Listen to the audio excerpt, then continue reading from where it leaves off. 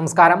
കളമശ്ശേരിയിൽ സ്ഫോടനമുണ്ടായത് യഹോവ സാക്ഷികളുടെ മേഖലാ സമ്മേളനത്തിൽ മുഖ്യധാര ക്രൈസ്തവരിൽ നിന്ന് വ്യത്യസ്തമായി പുനരുദ്ധാന വിശ്വാസികളും സഹസ്രാബ്ദ വാഴ്ചക്കാരും അതിതീവ്ര വിശ്വാസങ്ങൾ പിന്തുടരുന്നവരുമായ ഒരു അന്താരാഷ്ട്ര ക്രിസ്തീയ വിഭാഗമാണ് യഹോവയുടെ സാക്ഷികൾ. യഹോവ സാക്ഷികൾ ആയിരത്തി തൊള്ളായിരത്തി അഞ്ചിലാണ് കേരളത്തിൽ പ്രചാരണത്തിനായി എത്തിയത്. എന്നാൽ ആയിരത്തി തൊള്ളായിരത്തി അൻപതുകളിലാണ് ഇവർ സജീവമായി തുടങ്ങിയത്. യഹോവയുടെ സാക്ഷികൾ എന്നാണ്. ഔദ്യോഗിക നാമം എങ്കിലും കേരളത്തിൽ ഇവരെ യഹോവ സാക്ഷികൾ എന്ന് പൊതുവെ ജനങ്ങൾ വിളിക്കുന്നു. തിരുവനന്തപുരം ജില്ലയിൽ യഹോവയുടെ സാക്ഷികളുടെ സ്ഥാപകനായ സി ടി റസൽ ആയിരത്തി തൊള്ളായിരത്തി പന്ത്രണ്ടിൽ പ്രസംഗിച്ച സ്ഥലം ഇപ്പോൾ റസൽപുരം എന്നറിയപ്പെടുന്നു. മല്ലപ്പള്ളി മീനടം പാമ്പാടി വാഗത്താനം കങ്ങഴ അയർക്കുന്നം പുതുപ്പള്ളി എന്നിവിടങ്ങളിൽ ആദ്യകാലത്ത് പ്രവർത്തനം നടന്നിരുന്നു. ഇപ്പോൾ കേരളമൊട്ടാകെ സജീവമാണ്. കേരളത്തിൽ പതിനായിരക്കണക്കിന് വിശ്വാസികളുണ്ട്. സി ടി റസൽ എന്ന ബൈബിൾ ഗവേഷകൻ ആയിരത്തി എണ്ണൂറ്റി എഴുപത്തിയാറിൽ സ്ഥാപിച്ച ബൈബിൾ വിദ്യാർത്ഥികൾ എന്ന നിഷ്പക്ഷ ബൈബിൾ സംഘടനയാണ്. പഠിപ്പിക്കലുകളിലും സംഘടനാ തലത്തിലും പല നവീകരണങ്ങൾക്ക് ശേഷം ആയിരത്തി തൊള്ളായിരത്തി മുപ്പത്തിയൊന്നിൽ ബൈബിളിലെ യശയ്യാവ് ആധാരമാക്കി യഹോവയുടെ സാക്ഷികൾ എന്ന നാമം സ്വീകരിച്ചത്. Watch Tower Bible and Tract Society എന്ന നിയമപരമായ കോർപ്പറേഷനിലൂടെയാണ് ഇവരുടെ പ്രവർത്തനം ലോകവ്യാപകമായി ഏകോപിപ്പിച്ച് നടത്തുന്നത്. റസൽ തിരുവനന്തപുരത്തും എത്തി പ്രസംഗിച്ചിരുന്നു. ഇതാണ് റസൽപുരമായി മാറിയതും. ഇപ്പോൾ നാം ജീവിക്കുന്നത് ഒരു അന്ത്യകാലത്താണ് എന്നും പെട്ടെന്ന് തന്നെ ദൈവമായ യഹോവ ദുഷ്ടന്മാരെ എല്ലാം നശിപ്പിച്ചതിനു ശേഷം നീതിമാന്മാരായ മനുഷ്യർക്ക് രോഗമോ വാർദ്ധക്യമോ മരണമോ ഇല്ലാത്ത ഒരു ജീവിതം ഈ ഭൂമിയിൽ നൽകും എന്നും ഇവർ വിശ്വസിക്കുന്നു. പറുദീസിയായി മാറപ്പെടുന്ന ഈ ഭൂമിയിൽ മരിച്ചുപോയ നല്ലവരായ ആളുകളെ ദൈവം പുനരുദ്ധാരപ്പെടുത്തും എന്നും അവരെ വീണ്ടും കാണാനാകും എന്നും ഇവർ പ്രത്യാശിക്കുന്നു. മുഖ്യധാര ക്രൈസ്തവ സഭകളുടെ ഉപദേശങ്ങളിൽ നിന്നും തികച്ചും വ്യത്യസ്തമാണ് ഇവരുടെ രീതികൾ.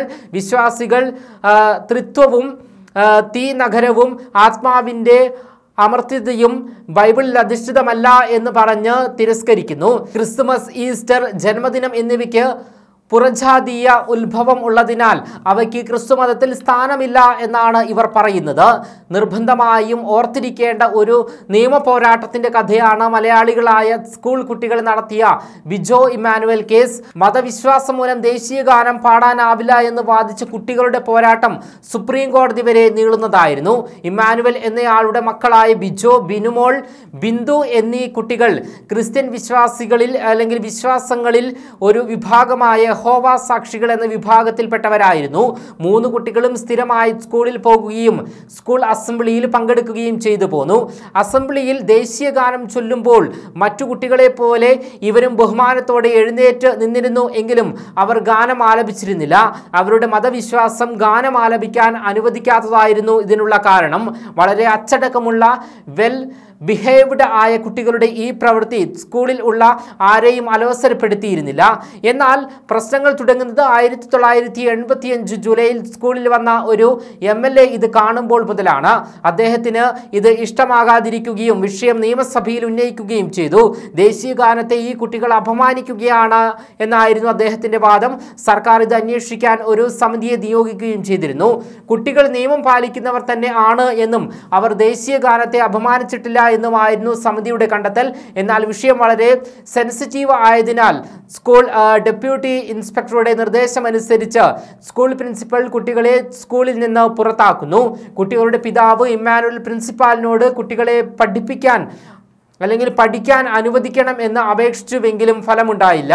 ഒടുവിൽ ഇമ്മാനുവൽ കുട്ടികൾ പെറ്റീഷണർ ആയി ഹൈക്കോടതിയിൽ റിറ്റ് പെറ്റീഷൻ ഫയൽ ചെയ്യുന്നു. കുട്ടികളെ സ്കൂളിൽ തുടരാൻ അനുവദിക്കണം എന്നായിരുന്നു ആവശ്യം.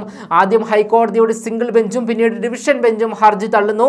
ഇതിനെ തുടർന്നാണ് കുട്ടികൾ അപ്പീലുമായി സുപ്രീം കോടതിയെ സമീപിക്കുന്നത്. സുപ്രീം കോടതി ഈ കേസിന്റെ വിധിന്യായത്തിന്റെ തുടക്കത്തിൽ തന്നെ സൂചിപ്പിക്കുന്ന ഒരു കാര്യമുണ്ട്. ഹൈക്കോടതി ചെയ്തത് നമ്മുടെ ദേശീയ ഗാനമായ ജനഗണമനയുടെ ഓരോ വരികളും സൂക്ഷ്മമായി പരിശോധിക്കലാണ്. എന്നിട്ട് ആ വാക്കുകളൊന്നും ഒരു മതവിശ്വാസത്തിനും എതിരല്ല എന്ന് കണ്ടെത്തി. എന്നാൽ കേസിലെ പ്രശ്നം അതായിരുന്നില്ല. കേസിലെ പെറ്റീഷണറായ കുട്ടികളുടെ മതവിഭാഗമായ ഹോവ സാക്ഷികൾ ലോകത്തൊരിടത്തും ദേശീയ ഗാനം ആലപിക്കാറില്ല. അതിനർത്ഥം അവർക്ക് ദേശീയഗാനത്തോട് ആദരവില്ല എന്നല്ല. ദേശീയഗാനം പാടുമ്പോൾ അവർ ആദരവോടെ എഴുന്നേറ്റു നിൽക്കും. എന്നാൽ തങ്ങളുടെ മതം അവരുടെ പ്രാർത്ഥനയല്ലാതെ മറ്റൊരു ആചാരങ്ങളിലും പങ്കെടുക്കാൻ അനുവദിക്കുന്നില്ല. അതുകൊണ്ട് അവർക്ക് ദേശീയഗാനം ആലപിക്കാൻ സാധിക്കില്ല. സുപ്രീം കോടതി ഈ കേസിൽ പരിഗണിച്ച പ്രധാന നിയമപ്രശ്നങ്ങൾ ഇവയൊക്കെയായിരുന്നു.